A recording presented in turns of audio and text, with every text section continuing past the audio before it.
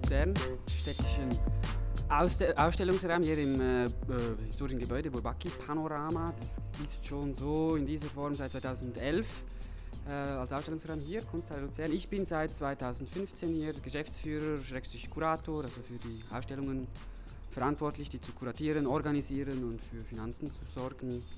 Genau, und äh, hier sind wir mitten in der Ausstellung von Mirko Reisser von Daim. Ja, also wenn ich zurückdenke, äh, als ich hier vor, vor 22 Jahren äh, hergekommen bin, ähm, ja, es ist sehr, sehr positiv. Es war, war eine ganz tolle Zeit. Es war damals, ich weiß nicht, ab, ich glaube ab 94 war ich, war ich auch schon in der, in der Schweiz und auch schon in Luzern, habe ja auch Freunde hier gehabt. Dadurch habe ich hier eben auch die Schule kennengelernt.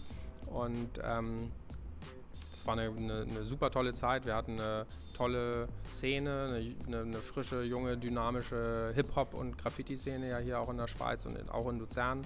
Ähm, und die zwei Jahre habe ich äh, unglaublich viel hier gearbeitet und mich sehr, sehr auf, auf, äh, aufs Experiment konzentriert, alles mal auszuprobieren. Und ähm, jetzt im, im Rückblick war es wirklich tolle Zeit.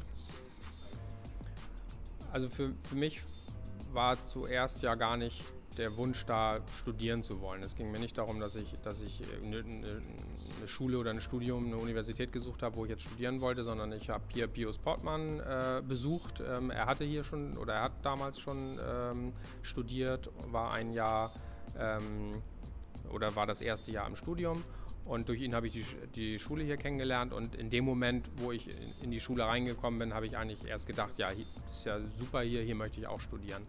Und dann habe ich aber schon auch gemerkt, dass es auch Sinn macht, nach sieben Jahren, die ich schon gesprüht habe, ähm, wo ich schon in der Graffiti-Szene aktiv war, ähm, das Ganze auch nochmal zu überprüfen, was mache ich hier eigentlich? Ist die Sprühdose, ist Graffiti immer noch das, was ich eigentlich machen möchte? Oder möchte ich nicht vielleicht doch Ölmalerei machen mit Pinsel? Ähm, und dafür war das Studium wichtig, das einfach alles mal auszuprobieren. Und am Ende der zwei Jahre habe ich aber doch für mich ähm, erkannt, dass Graffiti und die Sprühdose doch mein, mein Medium ist und, und auch inhaltlich das ist, womit ich mich auseinandersetzen möchte. Und deshalb bin ich mit einem sehr guten Gefühl auch wieder zurück nach Hamburg gekommen, das alles, also mich mal überprüft zu haben ähm, und dann eben auch ähm, ja, erkennen konnte, dass, dass ich auf dem richtigen Weg auch bin. Also die, die äh, Beeinflussung der Umgebung ist, ist im Grunde ganz wichtig und ist auch Teil. In dem Moment, wo man äh, im öffentlichen Raum arbeitet, wo man draußen arbeitet oder eben auch in einem öffentlichen Raum drin, wie hier auch die Kunsthalle, äh, dann spielt natürlich immer auch eine Rolle, in, in, was für einem Raum man ist. Also der klassische White Cube ist ja dann doch relativ selten. Jeder Raum bringt irgendwie was Besonderes mit sich. Und ähm, daher war es mir auch ganz wichtig, im Vorfeld ja auch einmal hier gewesen zu sein. Also vom, vom halben Jahr ungefähr habe ich mir hier mal die Räume angeguckt, weil ich natürlich auch wusste, es ist schon speziell. Ähm, und es ist schon auch auf jeden Fall eine Herausforderung äh, gewesen mit den Knicken, mit den Säulen. Da war auch nicht so ganz klar, wie geht man jetzt damit um. Aber ich glaube, ähm, dass ich da schon eine gute Lösung jetzt gefunden habe. Und also ich bin sehr zufrieden und finde auch wirklich den Raum äh, total spannend, weil er eben auch es zulässt, so ein bisschen was hier zu entdecken, auch mit dieser Biegung. Ähm, aber ich glaube auch, dass das Wandbild einen so ein bisschen rum motiviert, auch weiterzulaufen und auch äh, hier nach hinten zu kommen. Ja, hier darf man relativ viel machen und sonst fragt man und ich schaue, dass man es machen kann. Also wie gesagt, der ist, ist ein sehr ambivalenter Raum. Ähm, nicht einfach, wegen das hat äh, Daim schon richtig gesagt, diese Asymmetrie, leichte Krümmung, ähm, eben diese Wandpilaster, säulenartigen Elemente, die aber auch ein bisschen seltsam daherkommen von den Proportionen. Und also der seltsame Boden war mal eine Küche, also Restaurantküche ursprünglich. Ich habe ihm nicht Vorgaben gemacht, in dem Sinne, hey, ähm, natürlich wollte ich oder hätte ich gerne gehabt, habe ich auch bekommen, ein, ein Wand, eine Wandarbeit, aber so arbeitet er auch, also ist naheliegend, ich musste ihn da überhaupt nicht äh, überreden. Ähm, die Frage war dann mehr, wollen wir noch flankierende Maßnahmen ergreifen? Das klingt so schrecklich, aber haben wir gemacht mit diesen Arbeiten auf Leinwand. Ähm, es wäre auch eine Möglichkeit gewesen, einfach voll auf, das, ähm, auf die Wandgemälde zu setzen. Aber hier mit diesem Ausstellungskontext, finde ich, haben wir eine gute Möglichkeit gefunden und eben auch noch Arbeiten vor von 20 Jahren, die er im Schulkontext gemacht hat. Und dann kann man da eine schöne äh, Zusammenstellung machen, neben dem, was jetzt wirklich vor Ort direkt entstanden ist. Ähm, ja, genau. Also das Auflösen äh, der Buchstaben mein, meines Styles, ähm, vor allen Dingen auch so eine Art Raumeroberung. Also durch, die, durch das Sprengen der, der Form möchte man im Grunde, also ich, ich würd, möchte mal gerne so, so einen Punkt erzeugen, wo man sieht, aha, es, es, es explodiert schon, aber es ist eben noch nicht völlig auseinandergeflogen. Und diesen Schritt zu gehen, dass es eben völlig auseinandergeflogen ist und dass es in, in, in komplette Abstraktion im Grunde landet, weil die Buchstaben so gesprengt sind, dass man sie dann auch tatsächlich nicht mehr als Buchstaben erkennen kann. Das kann ich mir tatsächlich für die Zukunft schon vorstellen, aber ich möchte, glaube ich, gerne Schritt für Schritt dahin kommen, so, um das auch nachvollziehbar für mich und natürlich auch für andere Betrachter zu machen. Also dass, dass man, wenn man die Buchstaben auflöst und aufsprengt, dann eben trotzdem noch das Gefühl hat und weiß, es waren zumindest mal Buchstaben und dass es eben nicht beliebig abstrakt äh, wird. Ja, also das ist tatsächlich eine schwierige Frage, weil wenn man sich mal so die Entwicklung der Graffiti-Szene anguckt, auch Richtung Street Art hat sich das Ganze geöffnet. Heute mit Urban Art eine, eine weltweit riesige Szene. Ähm, dann hat man eher ja das Gefühl, dass die ganze Welt bunt mittlerweile eigentlich sein müsste oder sie teilweise auch in einigen Stadtvierteln ist, was schon wieder andere Problematiken mit sich bringt. Stichwort Gentrifizierung, also Aufwertung von Stadtvierteln durch Künstler, durch Street Art. Das ist ja wirklich äh, ein Hype und es ist ja, es ist ja attraktiv in einem äh, vollgesprühten Viertel heute in Berlin oder Hamburg zu leben. Ähm, und dann kommen natürlich äh, die Spekulanten und die Wohnungspreise gehen in die Höhe und am Ende sind die, die die Bilder gemalt haben, nicht mehr die, die in, in, dem Viertel wohnen. Also ähm, es kriegt tatsächlich, ähm, es kippt tatsächlich schon fast. Ähm, aber ich glaube nicht, dass es mir darum geht, alles, was grau ist, bunt zu machen oder die Welt bunt zu machen, sondern mein Anspruch für, für mich, für meine Kunst auf jeden Fall, sie ja auf, auf eine hochwertige Art und Weise äh, umzusetzen und, ähm, und tatsächlich auch ähm, haben wir ja auch drüber gesprochen, was die Farbigkeit angeht, bin ich tatsächlich eher jemand, der das wieder zurücknimmt und ganz viel äh, erstaunlicherweise wieder bei Grau gelandet bin. Also ich verwende heutzutage und auch schon, schon länger sehr viel Grautöne, ähm, um da tatsächlich ähm, vielleicht eher den Blick auf die Form und auf das Inhaltliche zu lenken, als vielmehr über die, die flashy Farben. Mhm. Also die Kommerzialisierung der Szene ähm, äh, hat vielleicht, sagen wir mal, seitdem, seitdem Graffiti, Street Art auch auf dem Kunstmarkt jetzt erfolgreich ist, natürlich nochmal eine extreme Höhe erreicht. Ähm, und, und es ist schon, schon, ja, es ist eben extrem geworden, aber die Kommerzialisierung gehörte im Grunde von Anfang an dazu. Also die Graffiti-Sprüher also in dem Moment, wo man sein, ein Zeichen hinterlassen möchte und wo man, wo man äh, im Stadtraum ähm, etwas hinterlässt, möchte man ja gerade, weil es auch oft so kurzlebig ist und die Sachen wieder gereinigt werden und, und, und vernichtet werden, möchte man automatisch oder hat man automatisch den, den Drang ja auch dazu, es zu dokumentieren.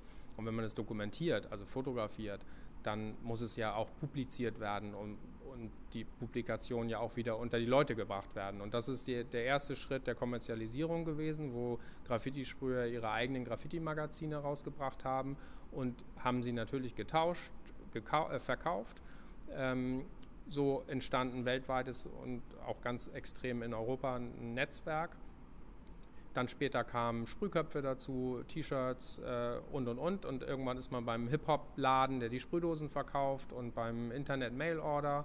Ähm, das ist einmal sozusagen dieser Merchandise-Bereich der Kommerzialisierung oder, oder, oder der, der, der Technik um das Sprühen herum. Aber natürlich haben wir als Graffiti-Sprüher ja auch dann relativ schnell davon träumen dürfen, damit Geld verdienen zu können. Also natürlich fängt man nicht aus diesem Beweggrund an zu sprühen als 15-, 14-Jähriger. Ähm, aber in meinem Fall zum Beispiel habe ich eben erst als 17-Jähriger angefangen zu sprühen. Und das ist schon so ein Alter, wo man natürlich auch weiß, okay, in zwei Jahren bin ich fertig mit der Schule. Ähm, und ähm, dann auch den Schritt zu gehen, zu sagen, hey, ich will jetzt mal versuchen, dann vielleicht auch hier in den, in den nächsten ein, zwei Jahren es zu schaffen, damit irgendwie auch äh, Geld zu verdienen und ähm, gehe damit vielleicht auch ein paar Kompromisse ein, aber dadurch äh, äh, eröffnet es mir weitere Türen. Das ist eben alles auch schon so ein Schritt der Kommerzialisierung.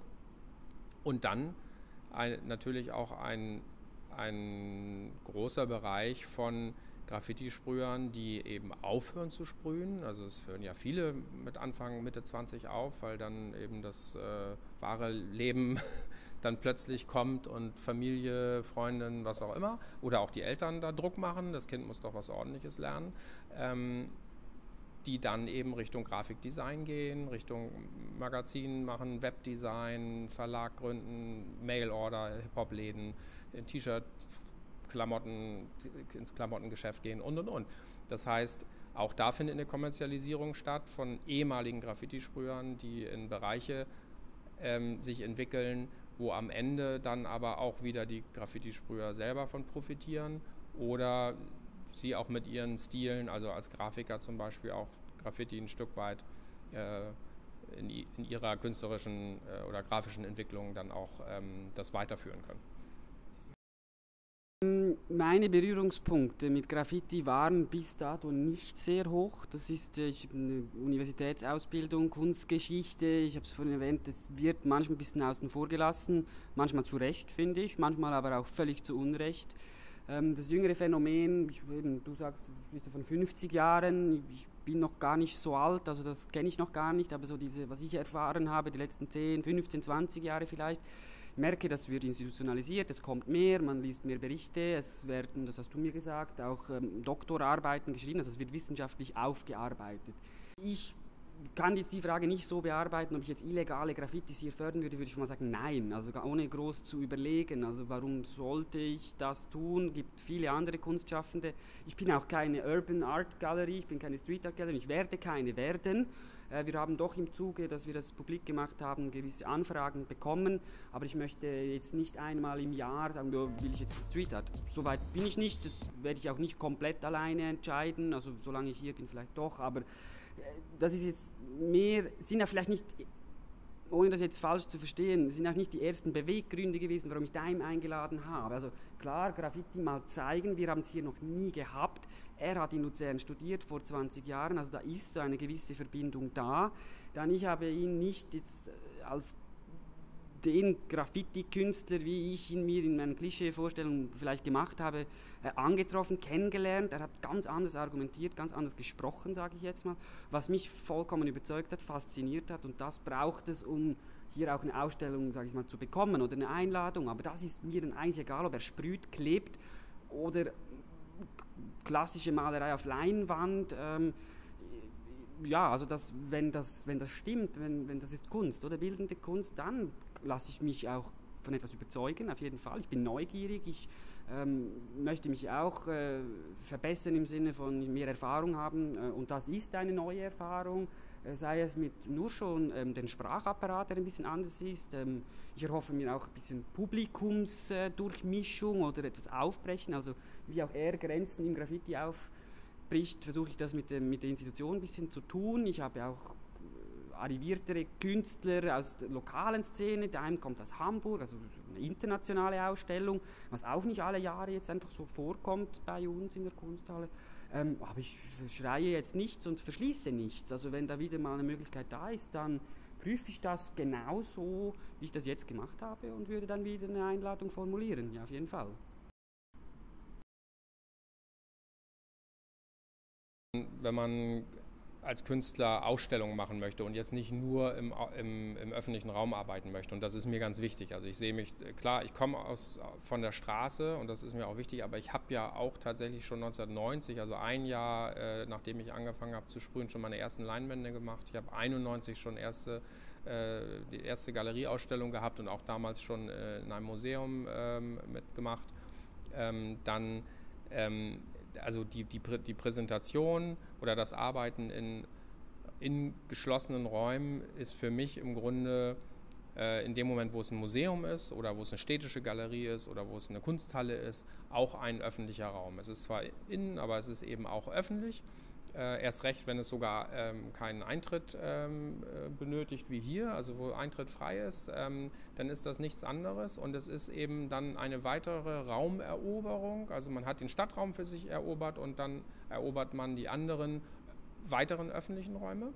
Deshalb ist das ähm, die, die schönste Form als Künstler, auch gerade äh, wenn man auf Wand arbeitet ähm, sich zu präsentieren ohne einen kommerziellen Aspekt sozusagen. Also genauso wie ich draußen ja auch meine Kunst mache und ich rede jetzt nicht von Auftragsarbeiten. Wenn ich meine freie Kunst draußen mache, äh, spielt das finanzielle ja auch überhaupt keine Rolle. Also ich kriege dafür kein Geld, ähm, ich, mich kostet es auch nichts. Also außer das Material vielleicht ähm, und, und den Arbeitsaufwand und so, klar. Aber ähm, es, ist, es ist etwas anderes wie eine Auftragsarbeit wo man ja auch einen Auftraggeber ähm, äh, naja, wo man, wo man ja mit einem Auftraggeber zusammen vielleicht etwas entwickelt.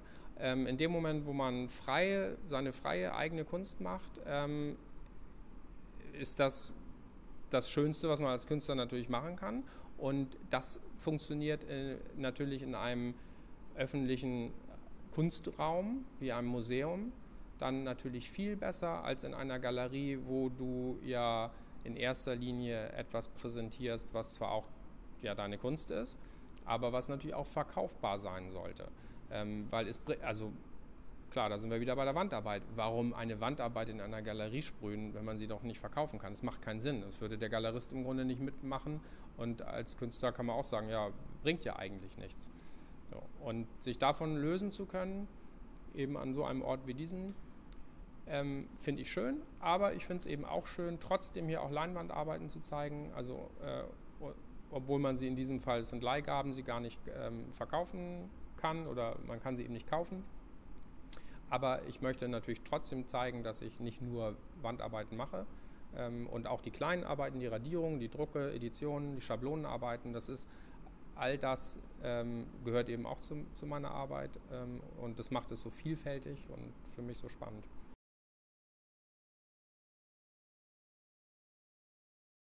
Ja, klar. Also ich, ich sprühe, also bin ich, oder ich schreibe, also bin ich. Äh, äh, das ist sozusagen das, äh, das Grundfundament von Graffiti. Und ähm, ich glaube, das ist aber auch ein Grundbedürfnis des Menschen überhaupt, ähm, sich, sich zu verewigen, etwas von sich zu hinterlassen, auch, auch ortsbezogen zu zeigen, hier war ich. Aber vor allen Dingen eben damit, hier, hier, es gibt mich, deshalb, ne, deshalb kann ich, ich kann ja nur hier sein, weil es mich überhaupt gibt.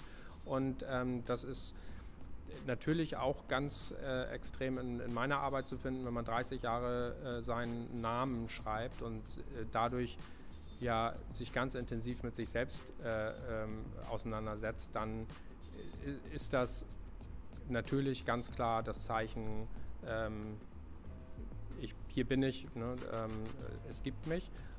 Ich habe sage immer ganz oft und, und das finde ich trifft es ganz gut auf den Punkt, meine Bilder sind im Grunde Selbstporträts. Also ähm, ohne dass ich figürlich, ohne dass ich, dass ich mich als Mensch darstellen muss, ähm, sind meine Bilder doch, äh, sagen eben eigentlich alles aus.